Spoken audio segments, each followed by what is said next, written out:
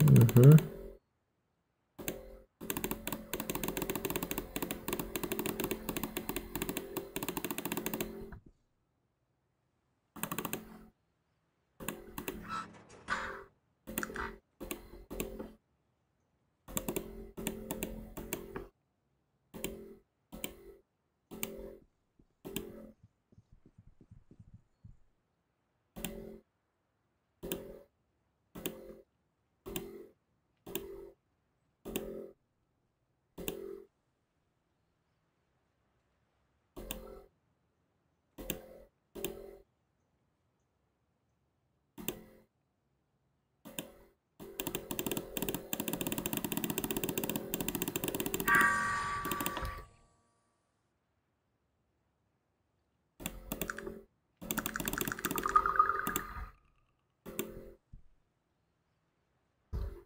I'm no longer his debt, uh, debt taker.